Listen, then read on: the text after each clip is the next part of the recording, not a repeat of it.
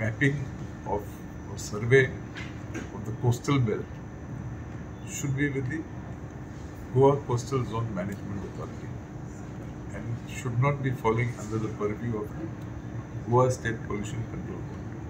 So that was the reason why, when this issue was brought up uh, in the assembly, I gave an assurance that this will not be done by Goa State Pollution Control Board.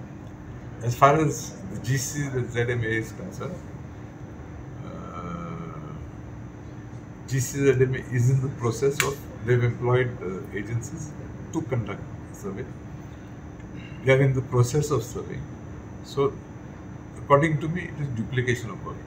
One side, GCZMA is carrying out the order. The other side, uh, Goa State Control, I mean Pollution Board is doing it. I see no role whatsoever in Pollution Control Board identifying structures. That is why we stopped. Next issue.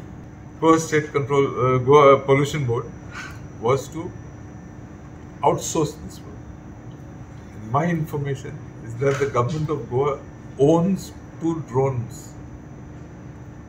So my contention is if we have to do a drone survey, we have in-house the the equipment, the machinery that is required.